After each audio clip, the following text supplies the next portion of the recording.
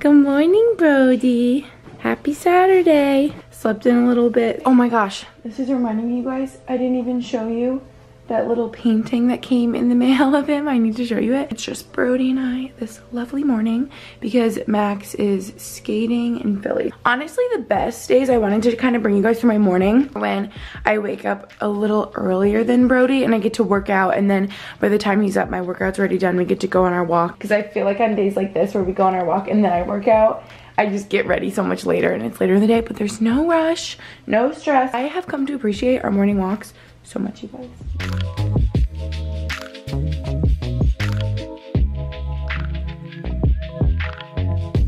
When we get back from our walk, you guys, Brody usually looks like this. So then this is the perfect opportunity for me to get a little workout in.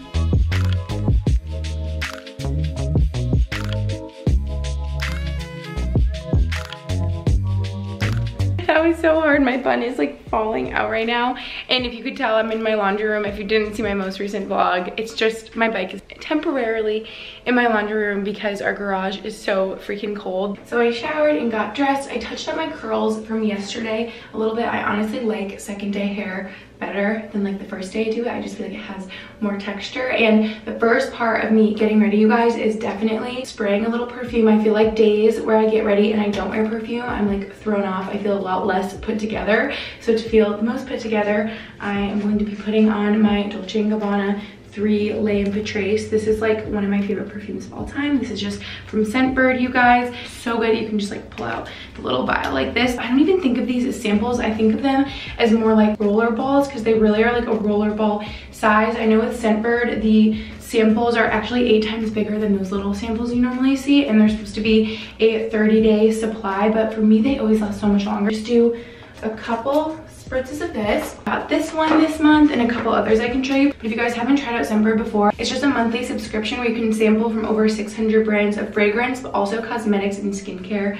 now as well smells so good. This is like my favorite scent. You need to try this one. And Scentbird will let you choose a new designer fragrance every month for just $15. But I know if you guys use my code Gretchen30, you will get 30% off your first month. So it's only $10 to try a new designer fragrance. Scentbird is just so nice because I can't commit to one scent. When I buy like the big bottle of perfume, it sits there forever and I feel like I never finish it. So this is a great way to actually be using the perfumes that you're buying and being able to switch it up and try new ones. Scentbird partners with so many other brands like Burberry, there's Prada, Gucci, Gucci, Tom Ford, and smaller labels like Glossier, but what you need to know is that you're always going to be getting 100% authentic scents all the time. And then this one is the Philosophy Amazing Grace Bergamot. I was so excited to try this one out because I love the Philosophy Amazing Grace just original. You guys, last but not least, we needed to throw it back and get the Juicy Couture Viva La Juicy perfume. Oh my gosh, this brings me back to growing up my childhood. This is like the best, most iconic perfume of all time. This reminds me of stealing my mom's when I was growing up. It's very nostalgic in my heart. So again, make sure you use my code Gretchen30 to get 30% off your first month at Scentbird. Again, it'll be only $10, which is so amazing. And you can take a little quiz on there, super quick and easy. You just talk about scents that you like so it can recommend fragrances that you would enjoy. And now we're going to get into my little makeup situation. Honestly, this is like the same as I've been doing it for a while. So I'm sure we'll speed through this pretty quick. I'm also realizing how fair I'm looking right now. I really need to self tan. And if you guys couldn't tell, I'm actually in our guest bathroom, like second bathroom. I always get ready in here. I don't know why. I feel like it's easier in my head to separate like my other bathroom is like unwinding, getting ready to go to sleep. And then this one is like where I get ready and I just leave my makeup in here. So yeah, let's do some makeup. Okay, first I'm using this CoverGirl powder and I'm still doing my makeup in this funky way that I learned from TikTok in like March. And now that I've just been doing it this way for so long, I feel like I can't go back. And then next up, I use a like setting spray. This is actually a priming hydrating mist because I ran out of my Urban Decay All Nighter setting spray, but that one is like my favorite. So whatever, I think like any sort of mist will work. I kind of use a lot, that's probably too much. Um, I don't know why this makes your makeup look flawless. I don't make the rules, but when I saw the TikTok, I saw a lot of comments being like, this is like a technique that makeup artists have used for a while. Something about this weird order that you put on your makeup just makes it look like pretty flawless. And then you gotta make sure that dries completely. And then I'm using Benefit Porefessional, just little primer, rub that around. This brings me back to literally my OG 2012 days on YouTube, you guys. I think I first got this primer legitimately in 2012. Got my beauty blender all wet and I'm using my favorite, what's a CC cream, but like kind of foundation in the shade light medium. This is the matte version, but I honestly think I like the original one better. It's like a little more glowy. It's funny how your skin changes over the years, you guys, because I used to have the most oily skin like in the beginning of high school and I really struggled with acne. Um, but now my skin is so dry. I think it's just changed as I've like grown up. And I also remember having a dermatologist telling me that the reason my skin was so oily was because I never used moisturizer because I was so scared that it was gonna like make me break out. My skin already felt oily so like why would I like be putting moisture on it like moisturizer and he was like the reason your skin is so oily is because deep down it's actually so like dry and your skin is producing all these oils because you don't moisturize it so maybe that's why my skin has gotten dry because i use moisturizer did that make any sense i don't know but i just remember a dermatologist telling me that back in the day and I really struggled with acne. But now I feel very blessed to say I haven't struggled with that in a while. I think I just sort of grew out of it to be honest. Like now I'm almost 24 wow that's so weird to think about. Okay also this looks like too dark right now because I, I can't believe how pale i've gotten. I usually self-tan a lot. Wow we're self-tanning tomorrow ladies because i'm gonna need to put bronzer right here. Little concealer. I can kind of like fly through this makeup now because i do it so often. It's just very like mindless and i feel like i used to have to really concentrate and now i'm like okay this is like the makeup that i'm doing anytime i do do makeup do note that a lot of days I'm not getting ready like this. I just won't put on makeup and will be more chill. But honestly, the days that I do my makeup, put on my perfume, put on an outfit, I just feel a lot better. What's that phrase where it's like how you're dressed on the outside affects how you feel like on the inside? Or dress to impress? No. It's like the reason that I would dress up nice for like finals in school. Do a little bronzer moment and by little, I mean a lot. I love bronzer, especially when I need to self-tan and I'm feeling um, transparent, translucent, transparent, yeah, whatever. Oh, I especially love it on my forehead. I feel like it just looks like I was just traveling, laying in the sun on the beach, but we all know I'm not doing that. I look like Casper the friendly ghost over here. But don't we all? Like, no one's traveling right now unless you have to for work or like being dumb and not caring about everyone else. That's my opinion for anyone that's traveling right now. Just don't. Just stay home, right? Like how hard can it be? Let's do a little blush. I've also learned, you guys, in the past like year to do a little blush on the end of your nose. Maybe some of you are cringing and you're not really supposed to do that. But I started doing that with my makeup like more recently because again, it kind of gives that like sun-kissed look. Side note, I don't know if this has happened to any of you, but I heard such good things about the Tarte eyelash curler for so long. And then it literally was pulling out my eyelashes and I would use it. So thank goodness it got anyone at Sephora. It's just like this gold one. Like I literally cannot wear mascara without an eyelash curler because my eyelashes stick straight out, you guys. Then I usually will do a combination of these two mascaras. Let's start with the Roller Lash. You guys even see this? Okay, my camera stopped recording. I did a little bit of eyebrow situation with my eyebrow pencil.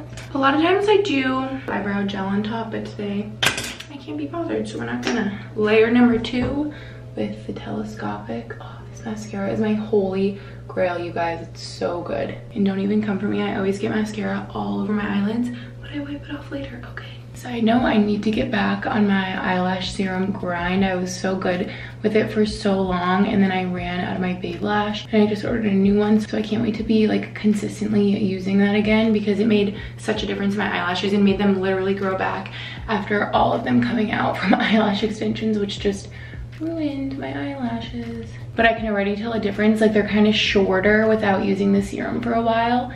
And the serum just makes them like whew, little highlight so we like to glow. Favorite place to put highlight is like right there on your nose. Do you see how it just makes my face like look awake? Hi.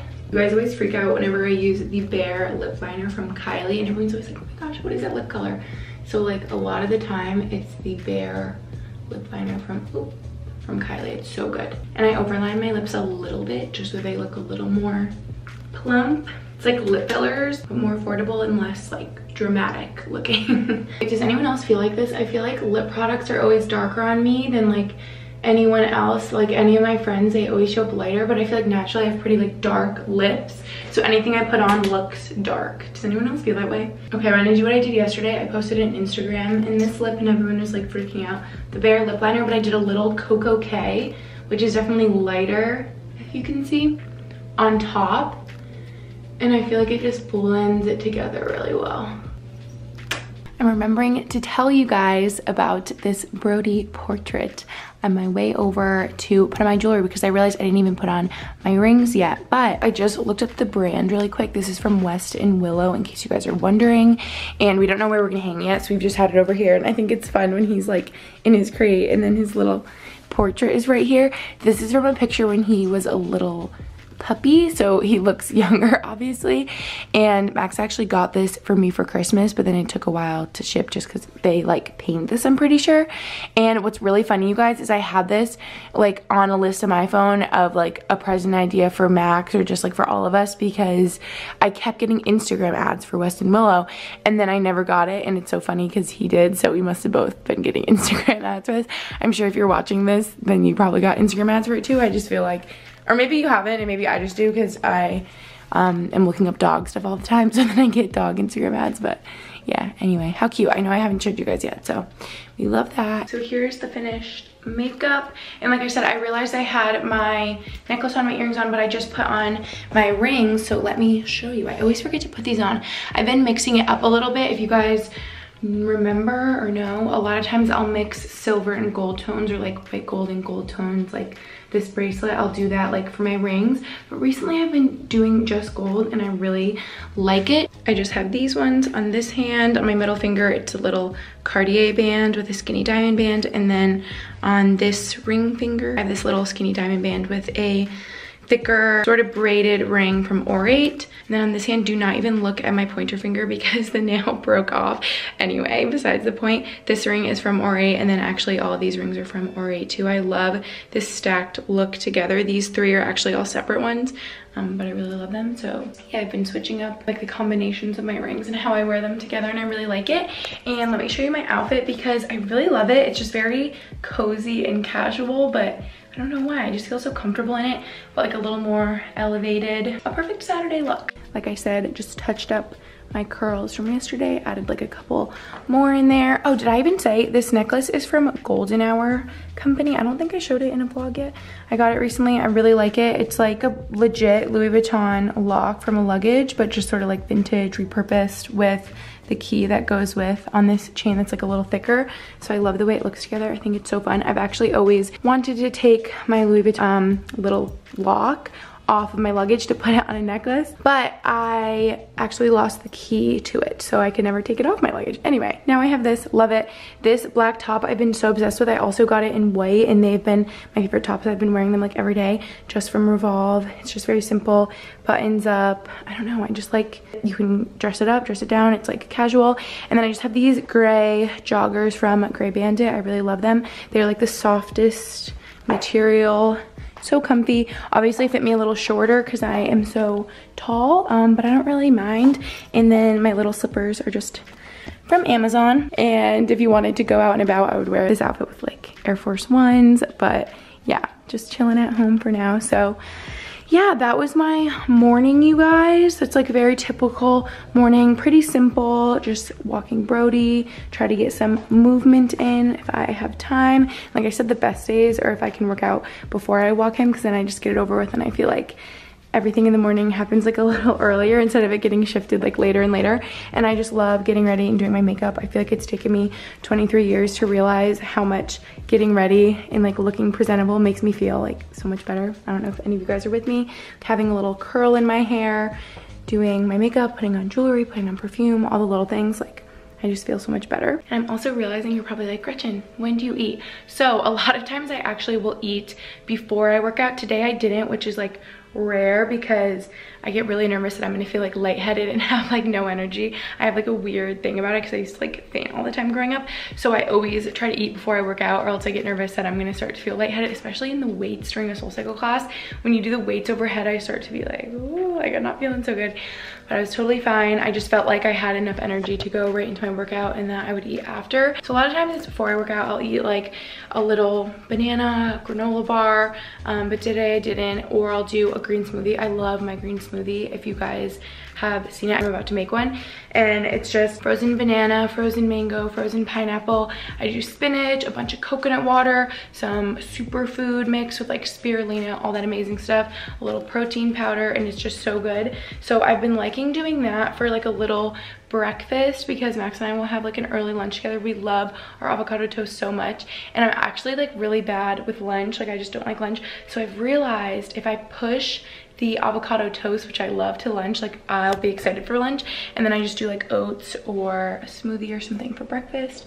So yeah, that's that with eating because I realized I didn't even show that. But I also love the, I should show you guys. I showed these a bunch, but the Verb energy bars, these are really good before I work out because they're just like a really little something. If I'm like, okay, I'm not hungry, but I'm just gonna eat, I'll do that. Or look, I even have like a little half of a Luna bar in here. The nuts over chocolate one is so good. So yeah, some of my faves. But I think that's it for this vlog, you guys, because I just want it to be a little morning routine, what my mornings look like, getting ready, everything like that. So thank you so much for watching, and I'll see you in my next video.